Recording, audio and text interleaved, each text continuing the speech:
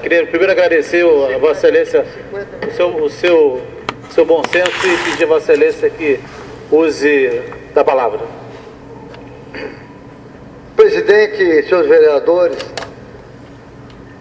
e na verdade população de Niterói aqui nas galerias, que permanece aí nas galerias, a gente quer saudar a população que assiste em casa pela TV Câmara.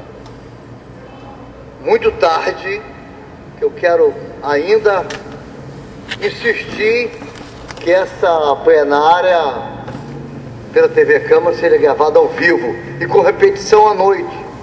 Eu acho uma tremenda covardia que fazem os trabalhadores, que a maioria trabalha no Rio de Janeiro, e muitos deles querem assistir a TV Câmara, mas uma hora da manhã, por exemplo. Eu tenho certeza que hoje vai ser uma hora da manhã, a minha palavra aqui, uma hora da manhã, meia-noite veio uma hora da manhã. Isso, isso não é justo. Um povo que trabalha e quer saber o que, que se passa na casa do povo, o que, que é discutido nessa casa legislativa. Então, esta casa tem esse poder de solucionar isso. Tem esse poder. Só basta ter boa vontade de resolver isso. Boa vontade política de solucionar isso. Mas, infelizmente, isso não vem ocorrendo. Mas também eu quero dizer ao vereador Jaime, que ele citou que a bancada do PSOL, o vereador do PSOL, a oposição, nunca elogiou o prefeito Rodrigo Neves. Aliás, não estamos aqui para elogiar, nós estamos aqui para sermos justos. Sermos justos. É, eu me lembro, Jaime, que num momento aqui, há uns dois meses atrás, eu me lembro se fosse hoje, há uns dois meses atrás, eu peguei a tribuna e falei assim, assim mesmo, serviço de ata anotaram todos, está tudo registrado. Pô, como é que pode até. Aquela ali é testemunha, ela está até rindo, que ela sabe o que eu falei. Ela é muito inteligente. Ela falou assim, é, eu falei assim, um vereador do PSOL, presidente da Comissão de Direitos Humanos, ocupando essa tribuna para elogiar o Poder Executivo hoje. O que, que a população possa imaginar? Porque o que ele fez naquele momento, Jaime, foi uma medida boa para a população. Coisa rara, mas naquele momento ele fez. E eu troquei elogio aqui na tribuna, em público, em público. Então eu não estou aqui para ser oposição, para votar aquilo, eu estou aqui para ser justo nessa cidade, para representar o povo dessa cidade que depositou o voto nos 21 vereadores para estar aqui representando a população. Eu faço isso, faço isso. Por exemplo, eu gostaria muito que o prefeito dessa cidade, para receber mais elogios desse vereador do PSOL, presidente da Comissão de Direitos Humanos, se tivesse concedido naquela época do PCCS da Educação, tivesse contemplado os aposentados, que lamentavelmente ficaram de fora. Os aposentados que tanto lutam nesse país, ficaram de fora do PCCS da Educação. As cozinheiras, que exercem um trabalho muito sério alimentar os alunos, as professoras, que na verdade deveria ser essa nomenclatura como cozinheira, e permaneceu como merendeira. Outra injustiça praticada do prefeito e o secretário contra esses trabalhadores, que trabalham muito. Os profissionais de educação no Rio de Janeiro, Jaime, você está falando para você, você se reparou, foi massacrado pelo governo Cabral. Cabral botou a polícia para massacrar professores e professoras. Os profissionais foram massacrados injustamente, covardemente, pela polícia comandada pelo Cabral. Eu sempre falei isso. Eu tenho um profetinho meu aí, Jaime, está tendo no Facebook. Tenho certeza que Vossa Excelência leu, Vossa Excelência está sempre ativo. A gente fala, a polícia é a que mais morre e também é a que mais mata. A gente, a gente quer uma polícia preparada, eficiente, qualificada, Mas não está acontecendo isso. Mas não está acontecendo porque a polícia morre a todo momento, que é uma polícia bem remunerada, bem preparada, bem qualificada, e com a intenção de proteger a cidade. Isso não vem ocorrendo. Vossa Excelência vai, se não leu, tenho quase certeza que Vossa Excelência vai ler. Nós fizemos poucas panfletagens, mas a partir de amanhã vamos fazer panfletagem na cidade toda. Para que serve aos, aos PPs no Rio de Janeiro? Então, a gente tem. Eu não sou contra a polícia nenhuma, sou contra, sou contra a polícia, pelo amor de Deus. Agora, tem que ter uma polícia preparada, qualificada, uma forma de agir humanamente, mas humana com a população, principalmente os pobres das favelas, para não ser discriminado, não ser discriminado em hipótese alguma. Tudo foi isso. Permite a parte, vereador? Permito sim, Vossa Excelência. Obrigado. É, eu tenho que discordar de Vossa Excelência Obrigado. quando fala que a política não é preparada. Entenda uma coisa, vereador. Eu estou contigo para criticar a política de segurança pública do ex-governador Sérgio Cabral. Mas eu estou sempre a favor das corporações, seja da Polícia Militar e da Polícia Civil. A política de segurança pública é que eu condeno. Agora entenda uma coisa. A polícia, o policial militar e o policial civil, ele é obediente. Seja lá o coronel ou o delegado de polícia, que ele dá ordem, ele executa. Agora a polícia é altamente preparada. Para Vossa Excelência ficar sabendo, hoje, para a pessoa fazer um concurso para inspetor da Polícia Civil, que é o meu caso, que eu sou inspetor de polícia de carreira, tem que ter nível superior completo. E isso não acontecia antes. Então o que acontece? A polícia é altamente preparada e qualificada para Vossa Excelência ficar sabendo, a polícia militar, sem medo de errar, é a melhor, a do Rio de Janeiro é a melhor polícia militar do Brasil. Tanto é que as outras polícias militares dos outros estados vêm aqui no Rio fazer curso com a Polícia Militar. O que eu condeno, e aí eu estou junto com Vossa Excelência, é a política de segurança pública do governador Sérgio Cabral. Agora o que, eu não vou dizer que me irrita, certo, mas que me causa certo desconforto, é quando Vossa Excelência fala que a polícia aqui do Rio é a que mais morre É verdade. e é a que mais mata. Mas é verdade. Eu entendo que a polícia é a que mais morre. Mas quando Vossa Excelência coloca, coloca essa frase, é a que mais mata, eu queria que Vossa Excelência continuasse nessa frase, mais um pedaço chamado assim, mata, no estrito cumprimento do seu dever legal. Só isso. É, enfim, pô. Jaime, olha só, a polícia comandada por Cabral, um governador arbitrário, covarde, covarde, o Cabral, e manda matar e matam mesmo, que a ordem é matar. Não, Olha só, A ordem não é matar, Vossa Excelência está enganado. A ordem não é matar. A ordem é revidar e fazer uso dos meios necessários, fazer uso da força, fazer uso dos meios necessários. Então a ordem é revidar, é, é revidar e não sair correndo. A ordem é defender a sua própria vida e também das outras pessoas. Então a polícia mata, mas dentro do estrito cumprimento dever legal, amparado pela justiça, pela lei da legítima defesa e por tudo aquilo que nós, legisladores, aprovamos, seja no Congresso, na Câmara dos Deputados, no Senado Federal, nas Assembleias Legislativas. Então a polícia ela age dentro da lei. E uma das prerrogativas é atirar para conter a agre- a agre- a agressão. Ok? Agora quando acontece o policial matar o bandido, tá certo? Ele está dentro do estrito cumprimento do dever legal. Tanto é que ele não é condenado. Né? Existe aí uma, uma exclusão de licitude. É a questão da legítima defesa. Vossa Excelência fala de uma maneira como se a polícia tivesse a intenção de querer atirar para matar. A polícia não atira para matar, ela atira para se defender. Agora o policial, o, o policial ele se defende. O bandido ele atira no peito e no rosto do policial. e o policial ele tem o direito também de se defender e atirar contra o bandido. Mas não é para acertar no joelho não, vereador. A polícia não tem obrigação de acertar tiro no joelho não. É acertar para conter a agressão.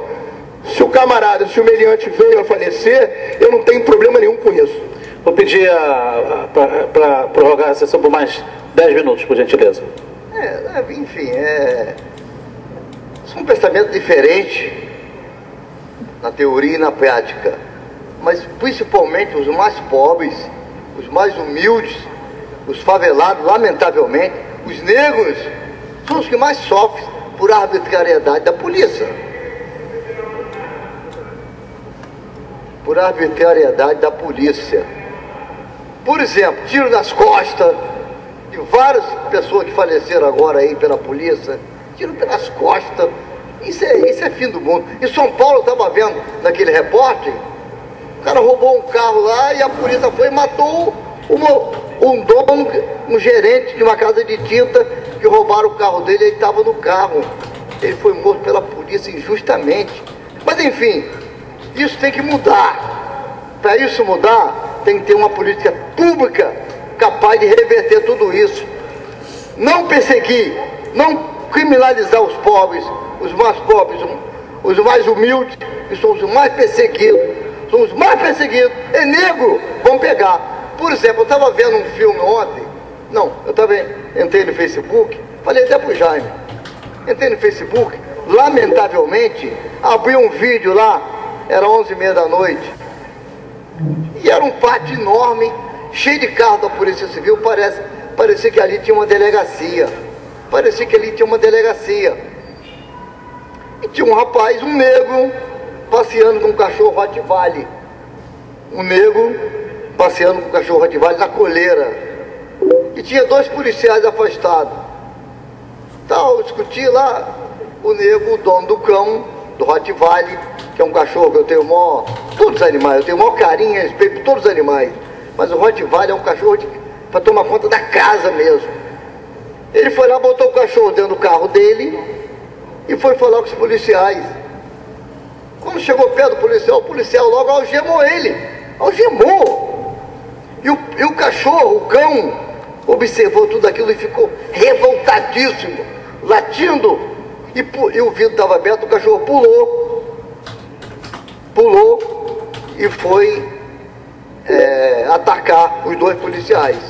Os policiais se defenderam tal, e o cara algemado. Sabe o que o policial fez? Um deles sacou de um revólver, deu três tiros na cabeça do cachorro. E o cachorro estribuchando no chão, morrendo, morrendo, puta, entendeu? Eu não aguentei, eu desliguei o vídeo. Isso foi uma tragédia para mim. Eu não consegui dormir a noite toda. Eu não consegui dormir a noite toda com esse tipo de bandidagem, covardia. Covardia com o animal. E quem faz isso com o animal, faz isso com o ser humano. Mas enfim, presidente, eu quero. É, falei isso devido a tanta é, a parte que houve aqui, eu fui obrigado a falar isso. Eu quero dizer, presidente, para terminar, duas questões que eu fico é, é, é observando e não consigo entender o porquê que a prefeitura de Niterói, que esse prefeito do PT, um prefeito que se diz ao lado dos trabalhadores, mas persegue trabalhadores, persegue ambulantes, igual o Lago da Batalha, perseguiu os ambulantes há mais de um ano, e tem trabalhadores morrendo, morrendo, a míngua, não estão trabalhando, não estão trabalhando. Você é um prefeito irresponsável, arbitrário e covarde. O prefeito do PT, Rodrigo Neves. Isso não se faz com ninguém. E ele fez isso com vários tipos de trabalhadores.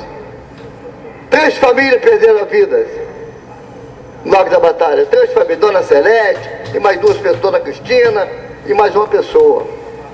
E ele não é, ele não é sensível. Na semana da eleição, esse prefeito foi tomar café, foi comer frutas com esses ambulantes, com esses feirantes, e, e dizia naquele momento, disse, companheiro, jamais ia mexer com os trabalhadores. E logo após a eleição foi lá, retirou todo mundo retirou todo mundo, não cedeu, não cedeu. Isso não se faz com ninguém. Isso é um prefeito que não, tem amor no coração, tem nada naquele coração a não ser a ganância de proteger os poderosos, empreiteiras, empresários de ônibus. Isso já está dito. A população de Niterói sabe qual lado que esse prefeito está. E sempre esteve. Defender poderosos, defender ricos. Enfim. Aí eu fico vendo, presidente, tanta injustiça nessa cidade. Cadê o plano de cargo salário da administração direta dessa cidade? Que o Jorge prometeu, enganou os trabalhadores, prometeu e não fez nada. Rodrigo já está um ano e seis meses, e cinco meses. Um ano e cinco meses, nada fez para esse trabalhador que exerce uma função linda, Jaime. Exerce um trabalho lindo, todos os trabalhadores. Prometeu, só porque o Tuninho foi, é, foi para as ruas denunciar. Eu queria que todos os trabalhadores tivessem a coragem do Tuninho. Todos. Igual os trabalhadores os garis da CRIM do Rio de Janeiro foram para as ruas, cobraram um plano de cargo salário justo, a população abraçou a causa e eles obtiveram o desejo deles. Que lindo isso! Uma forma democrática.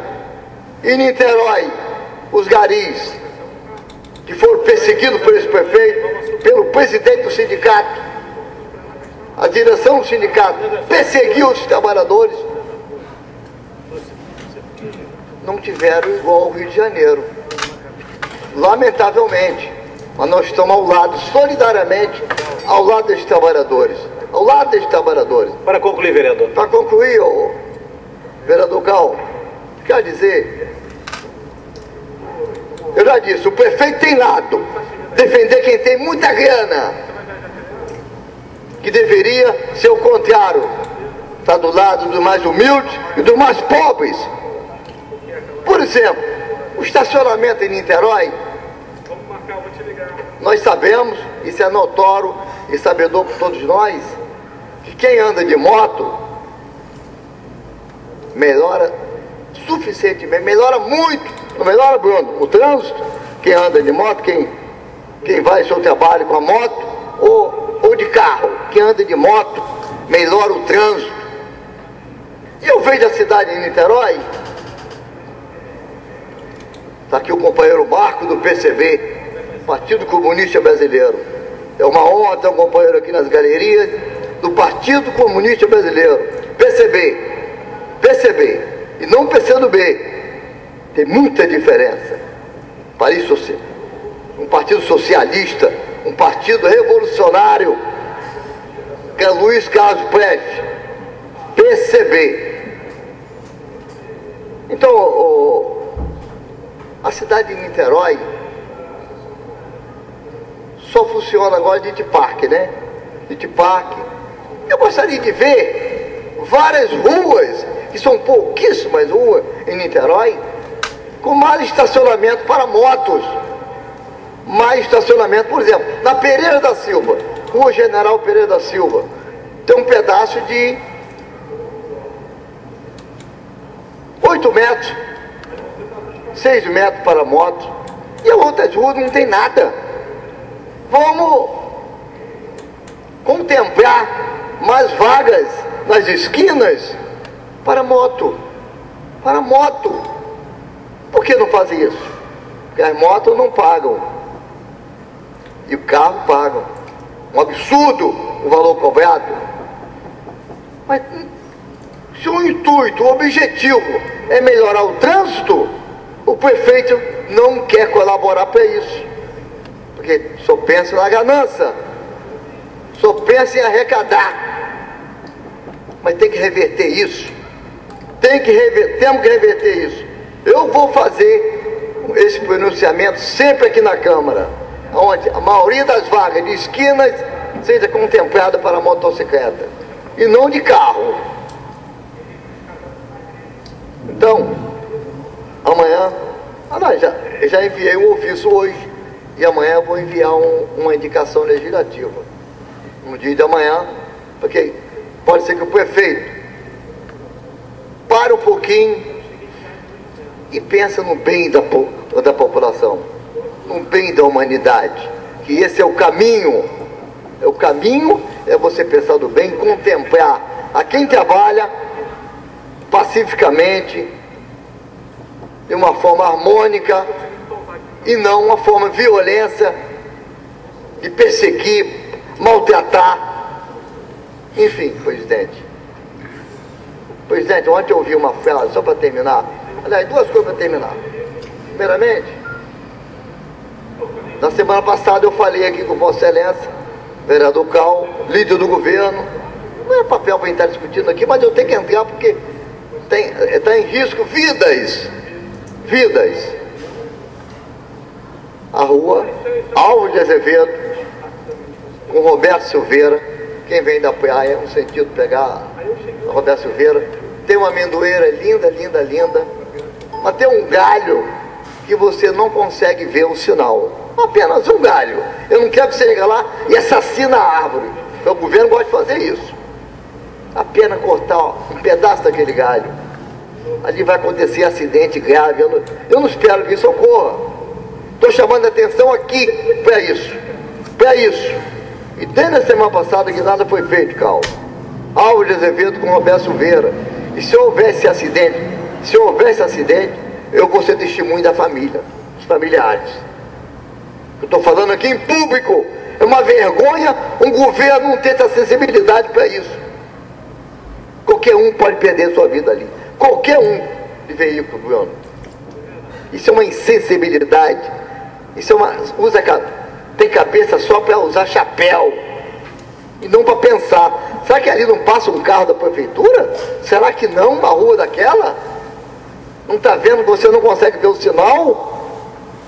Está esperando morrer pessoas ali? Tragédia? Então, Você está cobertíssimo de razão. Cobertíssimo de razão. Realmente ali está tá, tá preocupante. É, você- e é lamentável que o Poder Executivo não tenha ali atendido.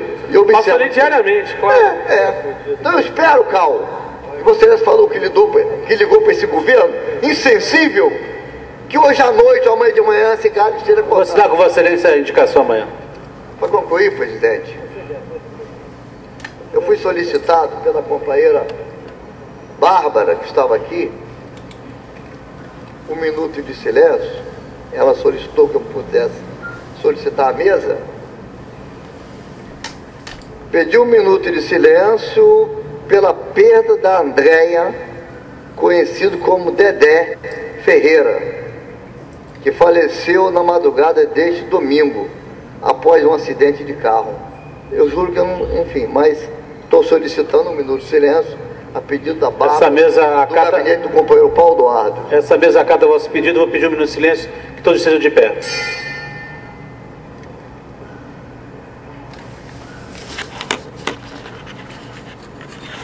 Presidente, Obrigado, presidente. Vossa Excelência, com todo o respeito, tem o direito da, da palavra. é, André